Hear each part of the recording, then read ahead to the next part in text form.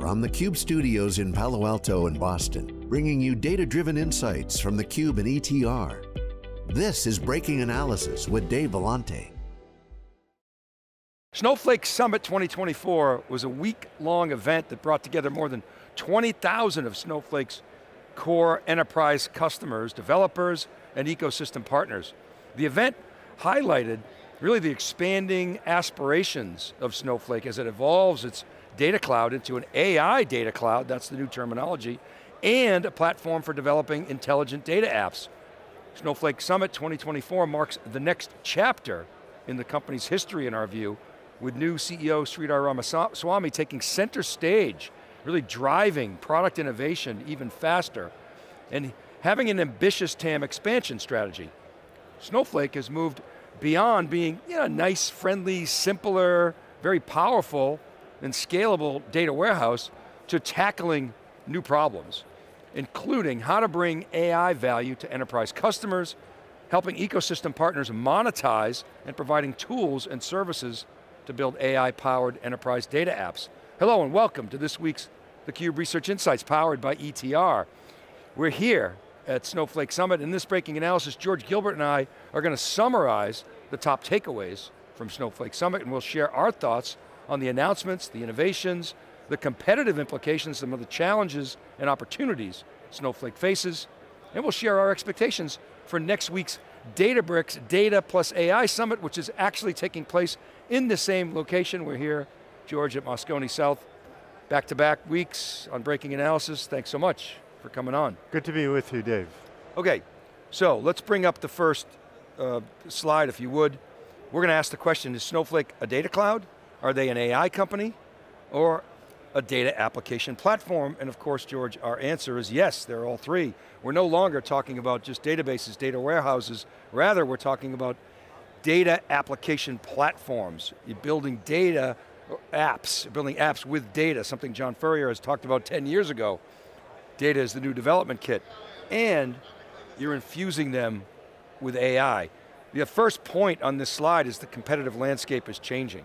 You got new competitors beyond cloud data warehouse. Um, you got Microsoft. They've got their single S, uh, SKU strategy that you're going to talk about. You got Salesforce with 150,000 customers with very strong low code tools that are autodidactic and can turn data into transactions. George, how is the competitive landscape changing? What did you learn? Over to you. So, when you raise that question as a data cloud and AI company, data application platform, I mean, you're, to boil it down to terminology from Saturday Night Live from the 70s, where I might be dating myself, is it a dessert topping or is it a floor wax? you know, and the answer is both. Because what started out as a platform for building analytic artifacts, whether it's dashboards originally on the Snowflake side or um, machine learning models on the Databricks side, increasingly our applications are driven by analytics. And the, the, the way you steer the analytics is with data. And then, so basically applications, we're, we're seeing an infusion of analytics throughout more and more of what were operational applications. So what started out as a data platform becomes an application platform.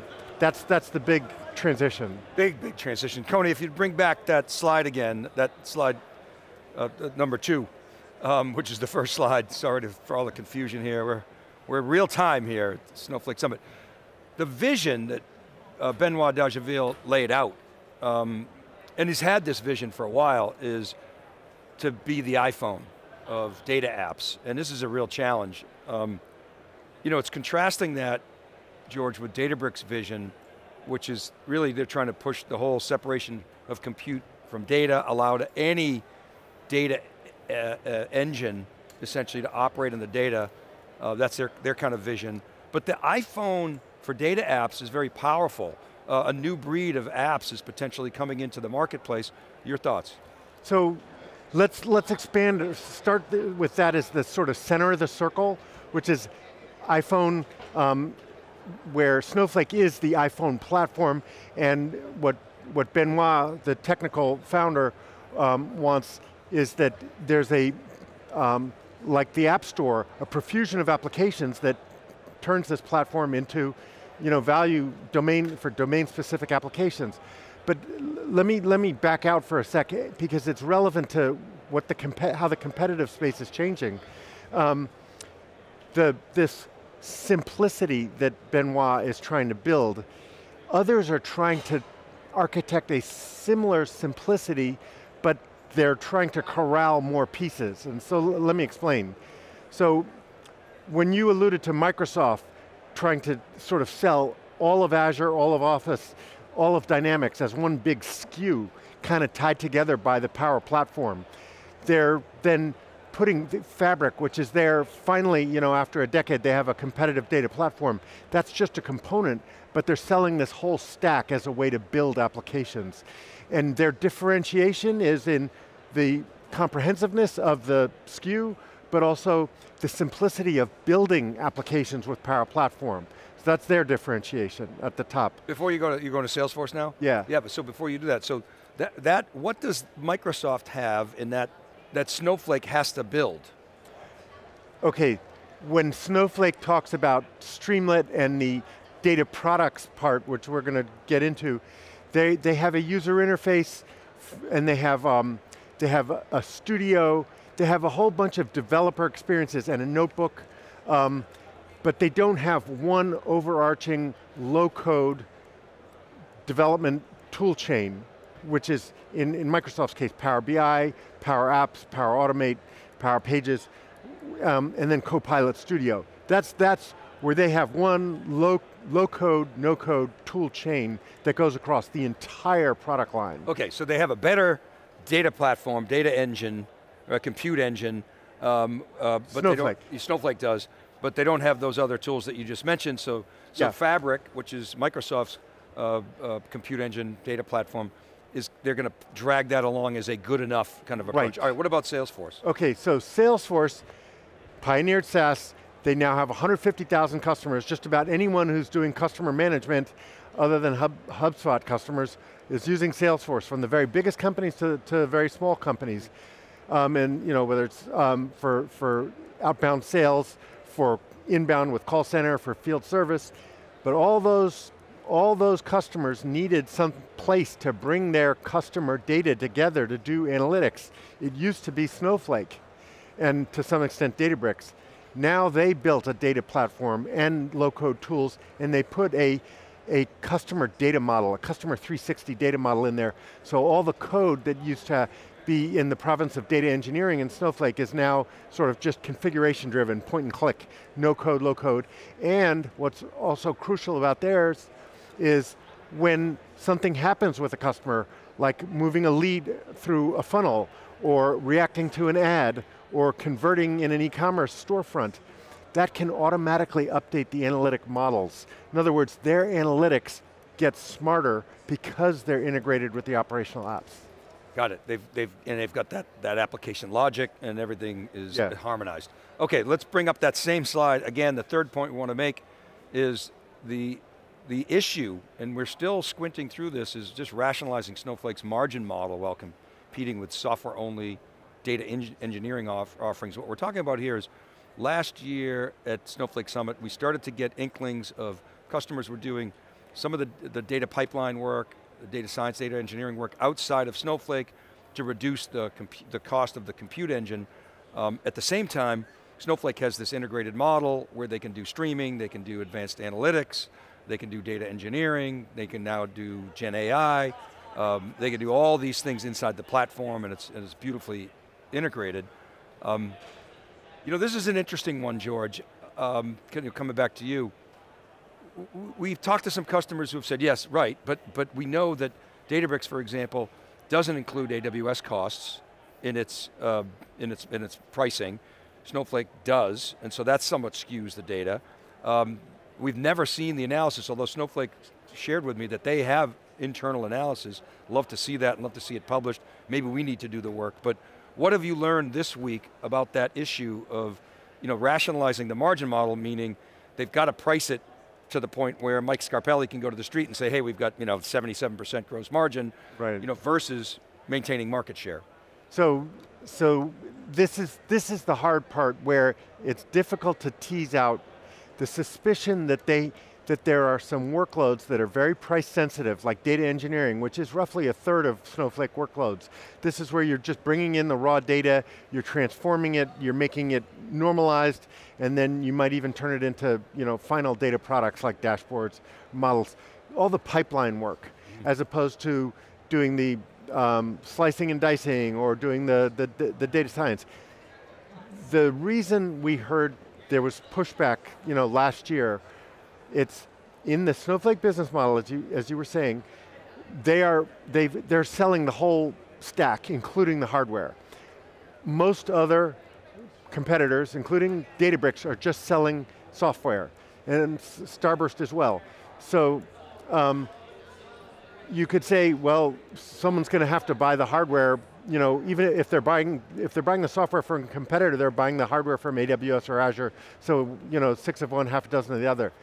As you alluded to, the, the, the issue is um, if they are presenting to Wall Street a software company business model with 70% product gross margins, they may be marking up the hardware to such a level that the overall cost of the workload is higher than if you bought the product separately. But if the overall experience is uh, more rich and, and, and customer friendly, it may have residual benefits that ultimately you know, win the day. All right, bring up that, Coney, that same slide again. Last point we want to make here is that Snowflake is really finally surfacing the power of many years of all this underlying plumbing work, and we're seeing it with the data catalog, Snowflake Polaris, which is open source, um, you know, Horizon, uh, which is not, but it's the you know, heavy governance piece. Um, Iceberg as an opportunity to expand its, its present uh, presence in the marketplace. Um, but, but that underlying plumbing, George, Coney, if you bring up the next slide, is sort of shown here. This is sort of an eye, eye test, but this is how it all works together. You've got the multi-cloud layer. Um, Snowflake was one of the first to, to develop the multi-cloud uh, strategy. We, we called it SuperCloud um, with a single global namespace, uh, e even though most people are running in, in individual clouds. Um, nonetheless, it works well on multiple clouds and it looks, it's the, pretty much the same experience. They've got multiple data, data types, you bring streaming in, you got one place to develop, deploy, and operate. They've got, and you can see here in the next layer, they, they ingest, they transform, they can incrementally update. They, they can do sophisticated analytics. It shows time series here and much more. Then they go to machine learning. It takes raw data in, it turns it into metrics, like what are engagements like? what's the, the clicks and, and so forth. And that all, all of this sort of updates automatically with you know, compressed time frames and granularity. Now they're adding Gen AI, big focus on Gen AI at this event with Cortex, with Cortex serverless and fine tuning. Uh, they're bringing in the NVIDIA capabilities, uh, which we'll talk about a little bit. They think they've had NeMo. Now they're bringing in NIMS, the, the API capabilities, and they make that all presentable and and, and, and governed. Um, and on top of that, Snowflake is building a, uh, a marketplace uh, with partners and a marketplace for data. And they've got the developer and operational tooling above that, which is integrated, and then of course, AI on top of that to make things easier for end users. So coming to you, George, and you can ask Coney to bring up the slide where it's relevant, but take us through this stack. Okay, before we get to the slide, let, let, let me just emphasize that these announcements that we've been hearing about 12, 24 months, they're all now GA or near GA, so public preview. Let me, let, let me tick some off. Snowpark Container Services, which is really critical because that allowed anyone to bring any compute into the Snowflake context. Which was announced last year at yeah. the show, yeah. But that was their big announcement yes. last year. Now it's coming to market. Yes, yeah. and so now that, that, that allowed you to to integrate any engine or any tool so that it can access Snowflake data within the security context and the customer's um, governance. Um, that's, that's how they dealt with open data, by going through their engine. Um, then the um, open data, Iceberg tables with the Polaris catalog. So now you can read and write Iceberg tables with an open catalog, um, and, and we'll get into that. Cortex, um, Gen AI uh, will expand. Horizon, a business and operational catalog for native Snowflake data, a native notebook experience for data, data scientists, um, and then the AI experiences. But now let me tie together. So Coney, go back now to that, that eye chart, that, that architecture slide. Um, let me give you a scenario why, why Snowflake has the power and simplicity together. So um, take a live e-commerce personalization um, scenario where you're streaming in data from the e-commerce app while the user is at the app. And you want to be able to react in real time to what the user is doing to further personalize the experience. That's, you know, that's sort of the holy grail, but to do it all in one package. So um, you have the live session data coming in, you update the user's experience, and, and it's in one platform where you can develop, deploy, and operate it, all you know, with simplicity. So with competition, that would be multiple different products, security models potentially, different data stores and pipelines between them, and then much more complex to develop, deploy, and operate, and you'd lose all that latency in, in, in reactivity. So, so let me just take through some of the, the You're saying capabilities. you'd lose that low latency. You would yeah. lose that low, yeah. Um, so for ingestion here, you have like Snowpipe uh, streaming, where you come in with very low latency, and then dynamic tables where this is the, their, their, this beautiful capability where it's essentially materialized views that each can chain together the all the transformations that used to be done in DBT, you can still define them in DBT, but whereas in an, when, when they were done externally, you would have to refresh every table, and so it's a very long batch process, or even if you're trying to make it less than batch, you know, you're, you're, you're making the sausage every, you know, every link. Mm -hmm. um, so here you're just, you're adding the little bits. Good analogy. um, so now um, you can work with both the incoming session data from the e-commerce stream, but also um, the historical contextual data about what did the uh, customer purchase in the past and other things. So you get the full picture. That they didn't have in the past. Mm -hmm and then you can set the latency for refresh, so the whole pipeline, at, from the very, at the very end of the pipeline you say, um, right now it's a minute, um, very soon it'll be down to 10 seconds. This is, you know, close to, you know, real time. Close to real yeah. time. And then Snowflake automatically and incrementally updates that whole thing. Um, and then that, that can feed into the machine learning, um, uh, the, the machine learning models themselves which generates a, a new screen of products to you know, select from. Um, anyway, then outside that scenario, because I couldn't come up with an intergalactic scenario, um, the, the, the Gen AI, this is you know, what their big uh, emphasis was. That's all what Benoit calls data flow programming, where the database engine is processing data, but now you add Gen AI to work on the data. Um, so they have uh, developer functions, Cortex, so serverlessly you can call out things for like text summarization, sentiment analysis, translation, text generation.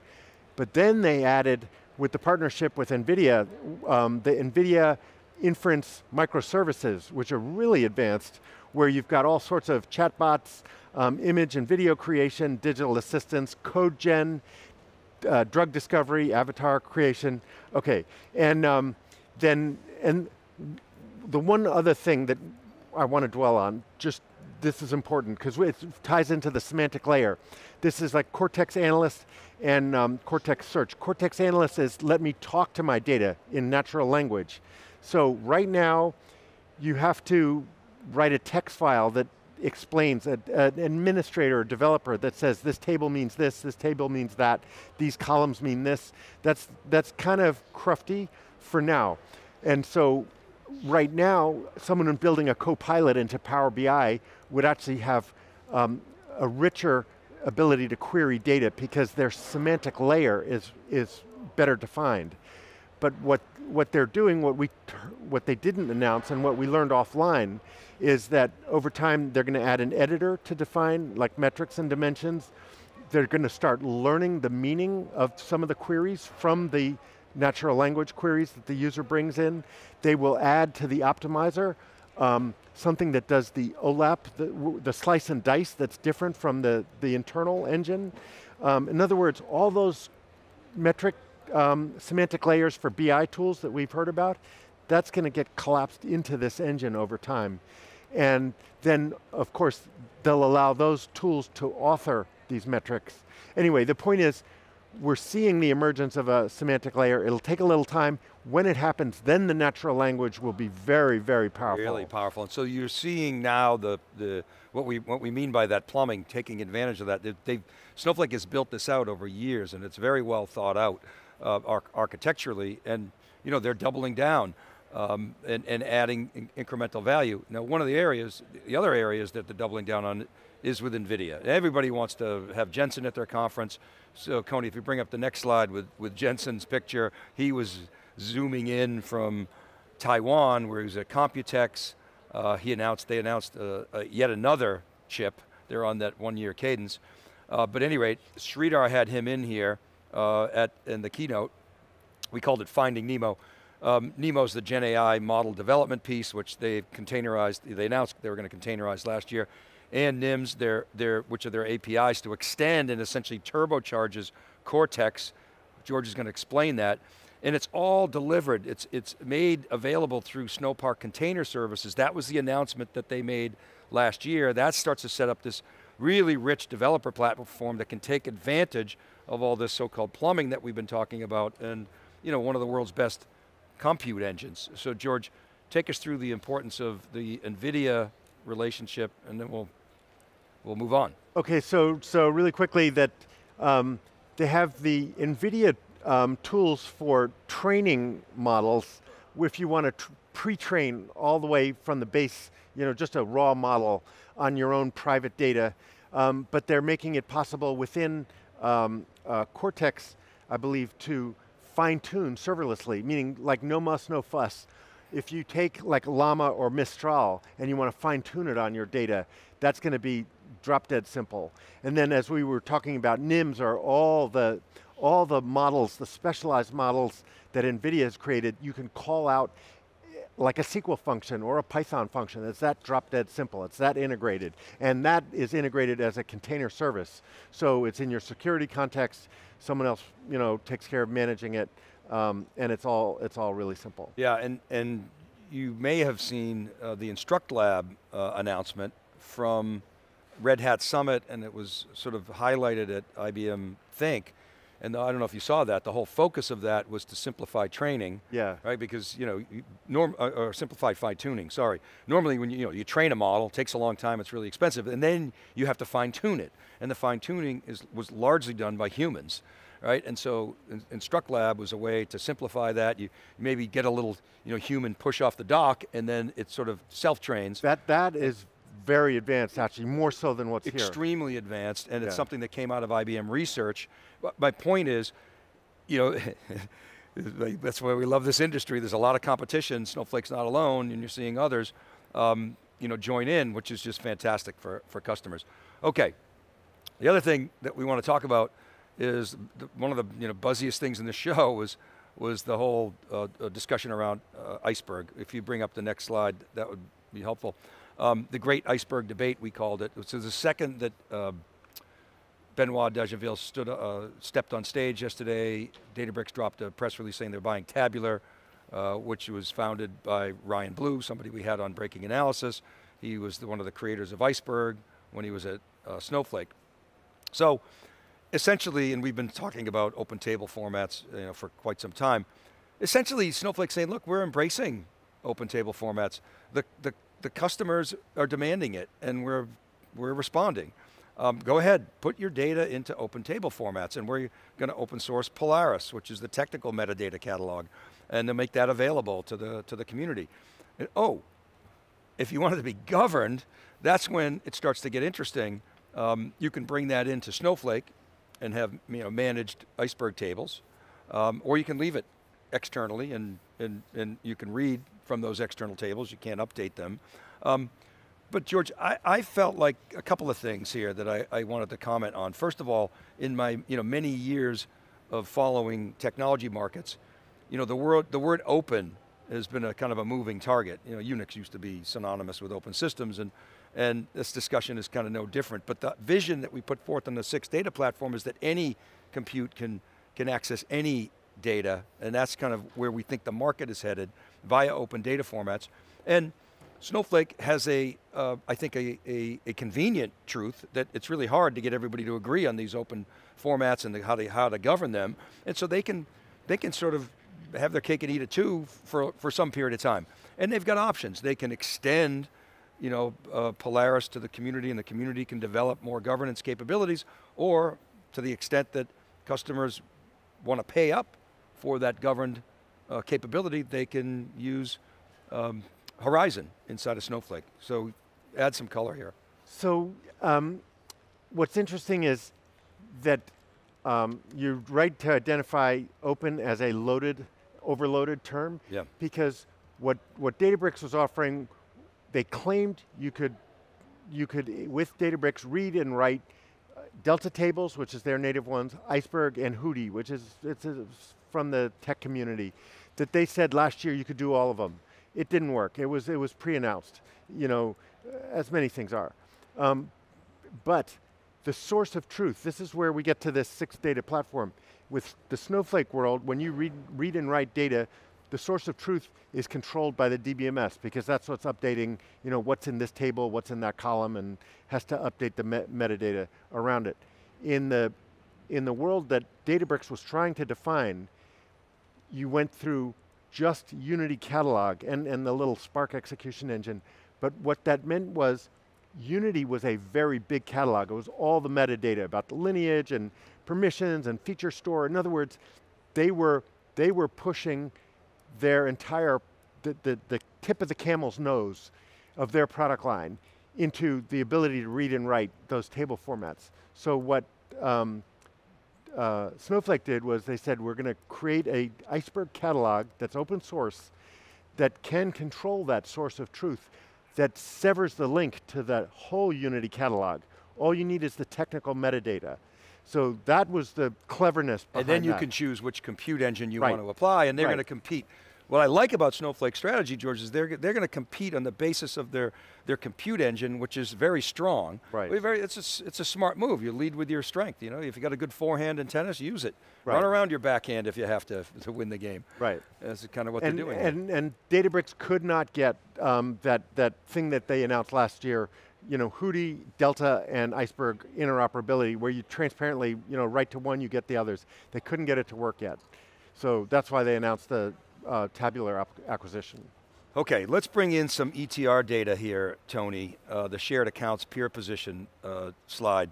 And we've selected some data ecosystem players here. This is not, this is by no means all of them, but we wanted to give you a sense. And what this shows is net score on the vertical axis. That's a measure of spending momentum. And in the horizontal uh, uh axis is the presence, overlap within 1,800 respondents in the April survey. And you can see here we've plotted some of the cloud vendors. You see Azure and AWS obviously up and to the right. By the way, anything over that 40% line is considered on the horizontal axis or the vertical axis is considered highly elevated. so you see the cloud folks, Azure, AWS, and Google Cloud Platform. We've, we've added in some other products that ETR has in its uh, taxonomy, like Microsoft Dynamics. Um, we, we put in Power Automate, even though that's an RPA tool, but they have the Power line we don't have other power products inside the ETR database, but we just put it there just for context. You've got, you got BI vendors, the visualization uh, of, of, with Tableau, now Salesforce. you've got ThoughtSpot, uh, you've got Looker, so you've got BI tools, and you have some governance that we put in there with like Alation and, and Collibra. and, and, of course we got OpenAI and Anthropic, some of the LLM vendors, because they, they play a role here. And of course we show Databricks and Snowflake. And you can see the trajectory of those two companies over time. We've talked about this a lot on Breaking Analysis, where they're coming together from a, a, a, market momentum standpoint and a presence in the market. We also included Oracle on there. They're clearly a player here, but coming back to Databricks and Snowflake, they're, they're obviously in focus. We didn't put Salesforce on here. You know, I, I should have, George. Uh, Informatica is on there, Cloudera as well.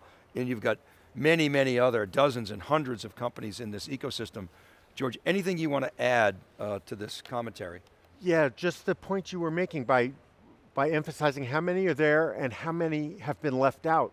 The point is, it's as if in the old world, compute were the infrastructure and everyone needed to get access to compute. Now data is the infrastructure, everyone needs to get access to the data. Many, many need to write the data, not just read it.